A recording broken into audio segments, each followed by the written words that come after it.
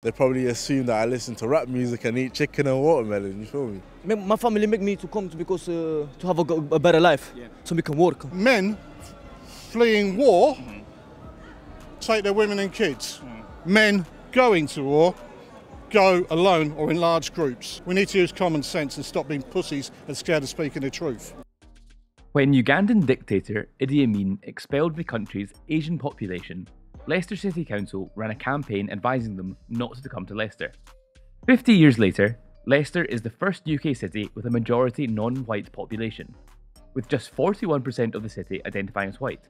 Given the current political discourse around immigration, refugees, and migrants in the UK, F off back to France. I've come to Leicester to find out how are you feeling about immigration at the moment? Well, I'll, I'll say what I think. And I'm not a racist, but I'm a realist. Right? I'll speak up. Back in the old days, 1066, right, yeah, when the Normans landed, was that called an invasion, yeah? My, my, my- my life was very hard, you know, because my dad he, he, didn't- he didn't leave he left me alone, so I've been growing up alone, you know. I came to Europe when I was young, when I was, was uh, I was like seven years old, you know. But immigration I think is good to help people. When um, the Vikings landed, military aged men, these- they called it an invasion when I was at school. What made you and your family come to Europe and then the UK? My family make me to come to because uh, to have a, a better life, so we can work, so we can you know we can have the rights in this in, in this country. But every people need to work for the food, mm. for the money. Mm. Understand? Yeah. And when the Allies landed on the beaches of Normandy, mm. D-Day, that was the that was the invasion, weren't it? So you tell me the difference. What do people in Belgium think about the UK? They don't know how to pronounce uh, a bottle of water.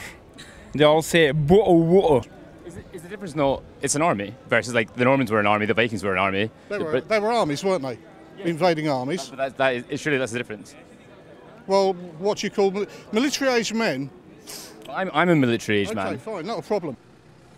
I think that unless if you've lived somewhere, you don't really know the privilege that we have in this country, like you know, uh, getting access to free healthcare, going to schools, educating ourselves, having a job.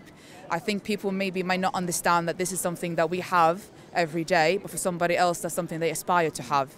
And unless people are understanding that, it can be very difficult for them to maybe emph- emphasize with other people. The way the government talks about people immigrating or kind of travelling across, in small boats across the English Channel, I think they use quite a dehumanising, kind of like racist language about these people. Can, when you hear that, how does that make you guys feel? I think it's quite upsetting to be fair, because especially for such a diverse, even like cities like Leicester, such a diverse place. You got places like Narborough Road. You got every culture down on that road. Even in the city centre, you see people, you know, people of all religions, faiths, all kind of things. It's just a, it's just a bit upsetting that for a place that's so diverse, their views on diverse people. So yeah, it's just a bit upsetting. Men fleeing war take their women and kids. Men going to war go alone or in large groups. Yeah? We need to use common sense and stop being pussies and scared of speaking the truth. I believe they're there because when they try and enforce 15 minute cities, they're going to be used when they try and enforce more lockdowns, right? Yeah? I don't know what your views are, guys, but I'm definitely part of the resistance, all right? Yeah? In this country.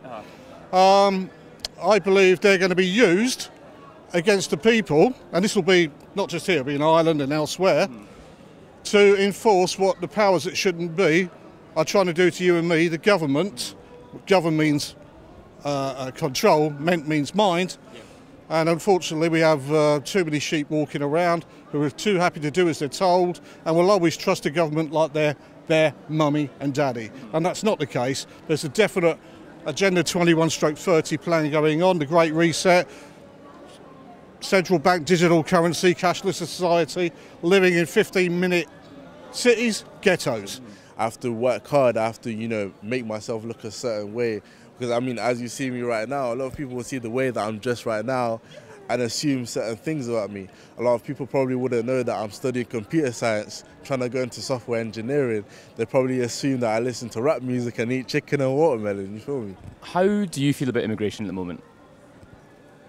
How do I feel? Well, it's uh, it's a problem, isn't it? It's getting worse. You know, I live on the Golden Mile. It, I don't know whether you've heard of it. No, it's called the Golden Mile. It's all ethnic and yeah, and that's. Um, but I live there, so it's changes there. You know, it's unreal.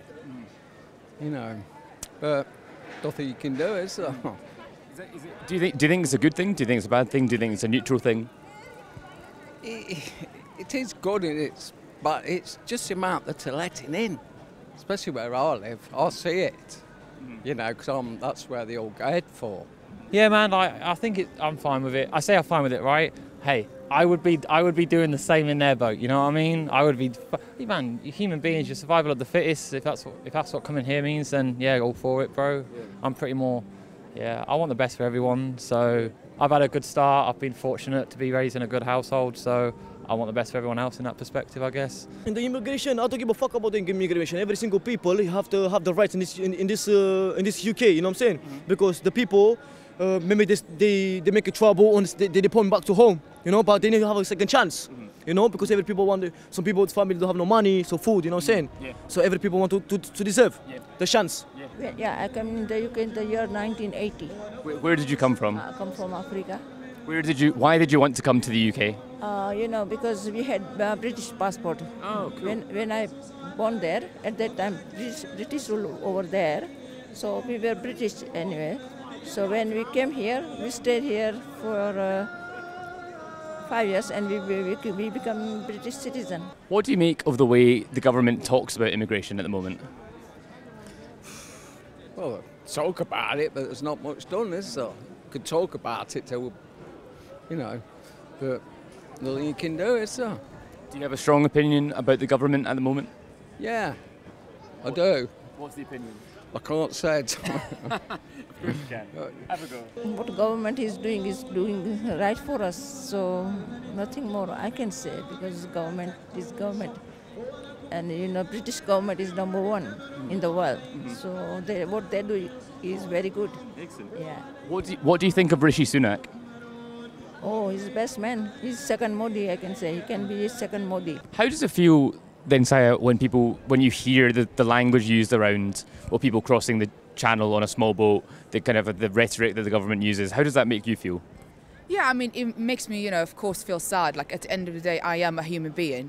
You know, I mean, our luxury is that we can go to another country, we can hire like a little, uh, you know, life-size ring boat, whatever it's called, like an inflatable one, and sit there, right? But it's it takes like, it's a it's a privilege to have when you can like go to another country, go for a holiday. But it does make me feel sad because these are human lives at the end of the day. Like I am a human, you are a human. Human. When I hear stories about that, and I'm putting myself in that situation. I'm like, i, I wouldn't be able to do it. Mm.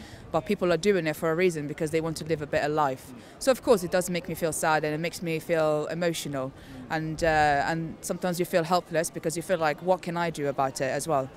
You can literally walk up the road. There are people that are Muslim, people that are Hindu, people that are Sikhs, people from all different ethnicities, all different ra- uh, races, and that's what makes Leicester unique.